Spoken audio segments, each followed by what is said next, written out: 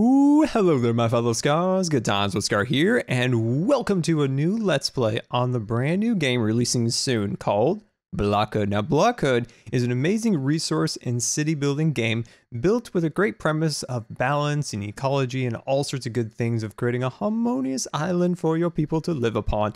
But like I said, it's an island made up of blocks, and you place your, you know, your homes and your shops and all sorts of different things like that together to create one super awesome city. So, let's get right into it. And as you can see, there are some options to start off here. We have challenges, sandbox, and tutorial. Now, highly recommend going through the tutorial. I've already done that, so we can go straight into what I think is a good start, the sandbox. All right, so we're gonna hit play and away we go. So here is your island that we just talked about. And as you can see, we can uh, jump right into it and start kind of going over some things. So of course, here's your menu to go home. And then here are some of the different things that we'll be going over soon. So as you can see, there's a lot of different options and different things like that. And the game is brand new. So the game is just kind of releasing as an early access game.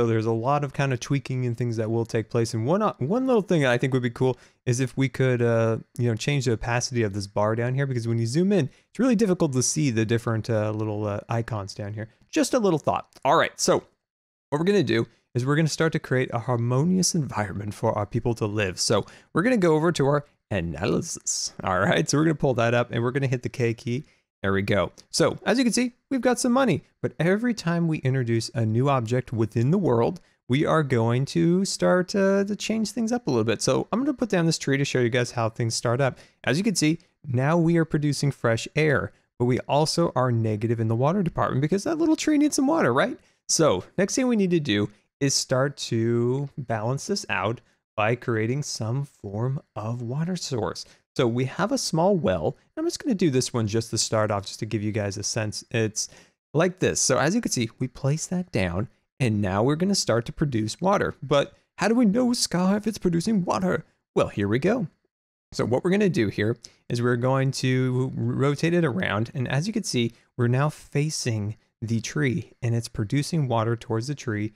And we are, let's see, there we go. So as you can see, the rate of production is moving up and we're starting to create water. So that's kind of the basic premise. You add a block, it's going to take resources, it's going to give resources. So it's really pretty cool. All right, so I think this game could also be incredibly educational. Next thing we need to learn is corridors. Yes, so corridors, now as you can see, they're inputs. So this is what they're going to be taking from us and their outputs are going to be what they're giving us. Now there's some good, there's some bads to any of those things. So what we're going to do now is I'm just going to build a quarter. That's right. I'm going to build a little quarter. So this is kind of how we connect things. Now, don't make the mistake that I made. And I want to show you guys the mistake that I made. And uh, here it is. This is a sand pile.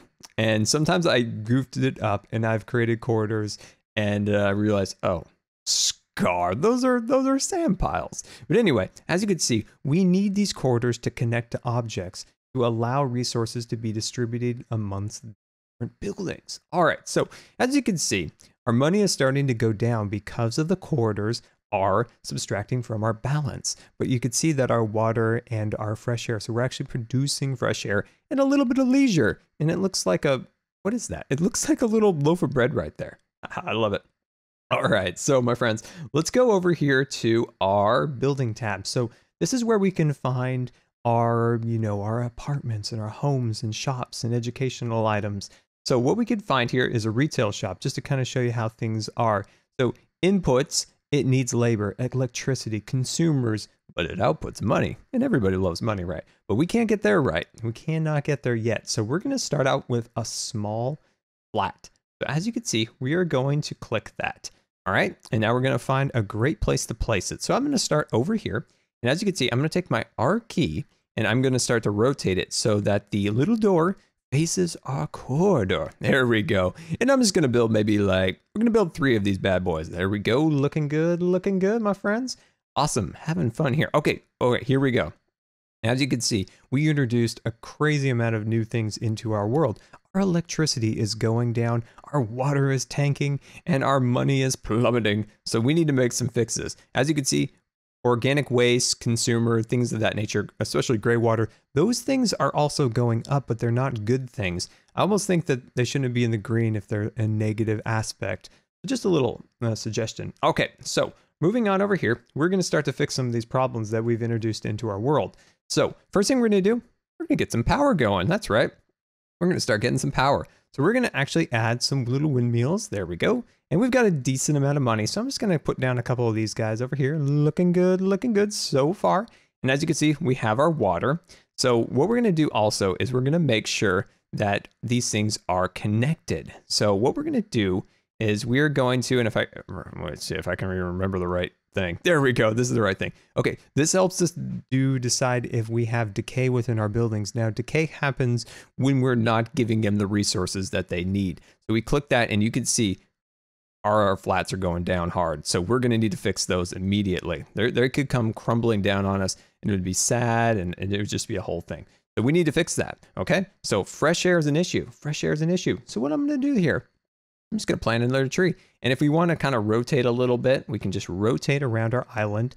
Now you might also be wondering, Scar, what if I want to go vertical? Well, you can. You can start building these things vertical because, of course, we're going to run out of real estate eventually. So what we're going to do is we're just going to start to add some of these. So this will be kind of our field where we have some of our resources. And it's not the best organized, but the most part, I just want this to be kind of a, a little bit of a showpiece for you guys to kind of understand some of the things. So as you can see, we have a bit of a flashing issue. That's right. These things are flashing red. That means they are going to become destroyed if they do not receive the resources that they need. So as you can see, fresh air is still an issue within the world. So I'm just going to continue to add some more trees and different things along those lines.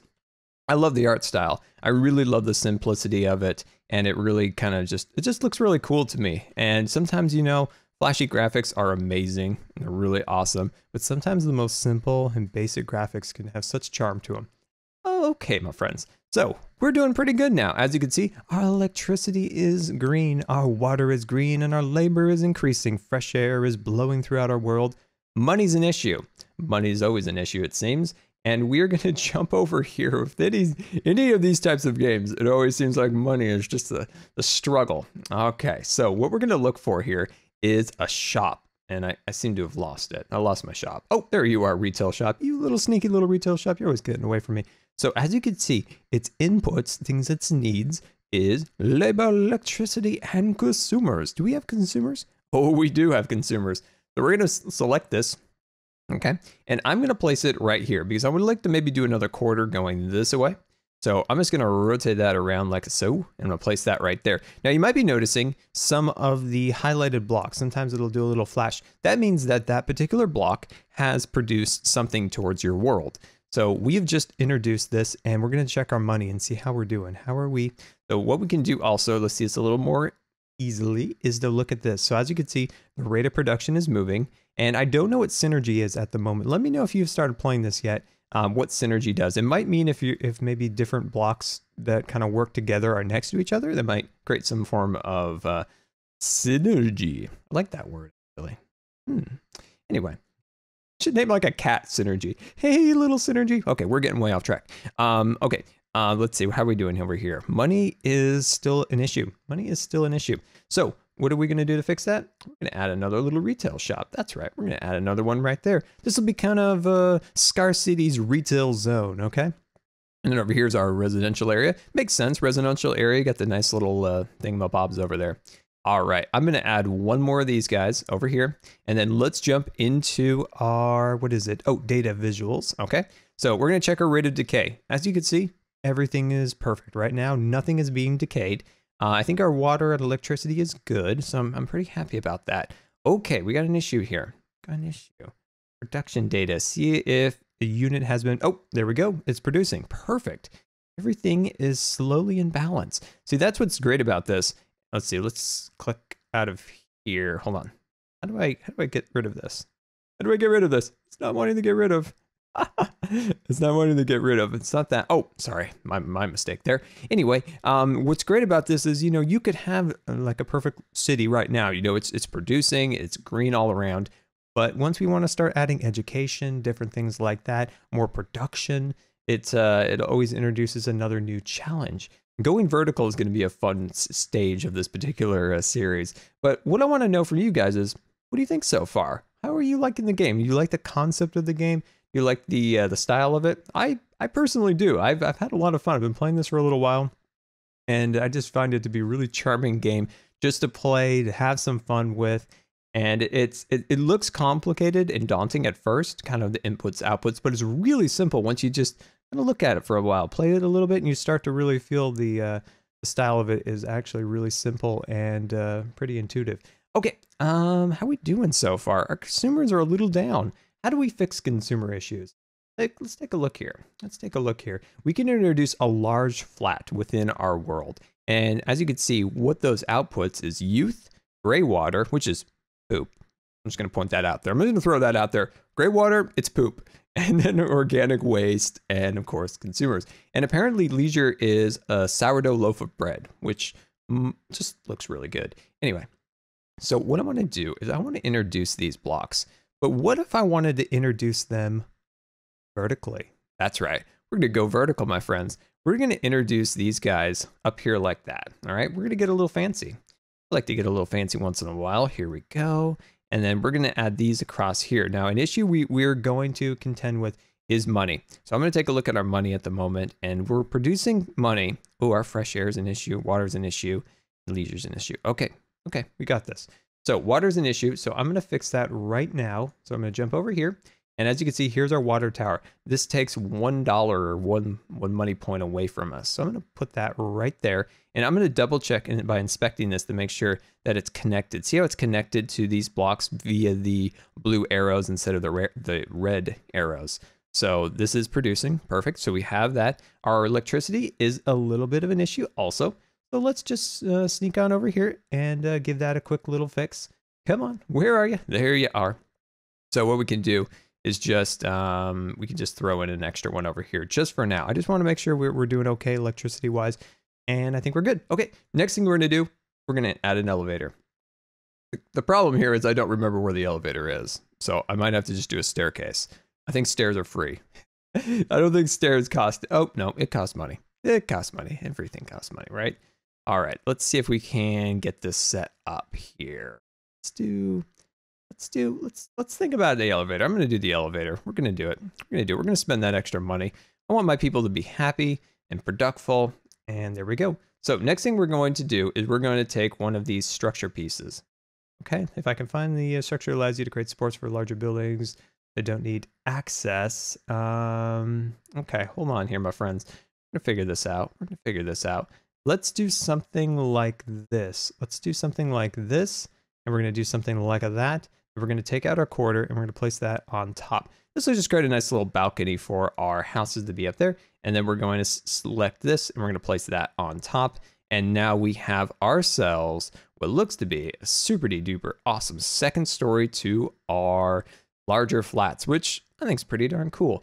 Okay, wonderful. I think that is coming out great. So what I'm going to do is I'm actually going to increase the size of our trees. As you can see, our trees are relatively small. So for now, I'm going to place these over here because our water level is pretty good. Eventually, we can put another water tower right there, and I think that'll be pretty good. But I'm going to place those there. That'll increase our water. And as you can see, doing pretty darn good. Next thing I want to do here is add, I think I'm going to add a school. I feel like that's a good foundation once you get the youth into your world is to start to add some of these particular blocks. So this line going across here, I think will separate some of our more industrial items within our world. And I think this area might have some more industrial things. And I think the first thing we're going to do is add our school. Now remember, my friends, never to put down the sand. there we go. So now we have introduced a school. Let's see what issues have applied here. We're losing money. Okay, we're doing good on our, you know, our basics, electricity, water, things of that nature, which I'm I'm happy about. Um, as you can see, our youth is a little of an issue, but I think we can fix our money pretty quick. So let's jump over here and let's just find something that produces money. Uh, factory. Let's see, factory hmm, produces some sickness. I don't like that. We might need hospitals and things of that nature to fix the sickness. So what I'm going to do is I'm just going to apply another retail shop. And what I'm going to do is, let's see, can I, can I actually attach that to there? Oh, that's sweet. Look at that. We can attach our retail shops up here. So our people in our flats, they barely even need to leave their house to go get their, you know, their, um, you know, their needs and things of that nature. And that looks pretty darn cool. And there we go, my friends. I think that's a really great start to our first episode showing you guys the basics of Block'Hood. Now, definitely let me know if this is something you guys would like to see more of because, man, I just had a ton of fun playing this and hopefully you had a ton of fun watching it. And yeah, so if you guys have any uh, suggestions for our next episode, definitely let me know. And until next time, this has been Good Times with Scar, and I always really appreciate you guys taking time to watch my videos. And if you believe the video deserved a rating, that would be much appreciated. And until next time, we'll see you later. And don't forget to follow me on Facebook and Twitter. And my friends, hello. These are not the droids you are looking for. Ah, wonderful, my friends. This is super awesome. So, like I said, you have a lot of different options. Oh boy. Oh gosh. Oh gosh. I don't remember this from the movie.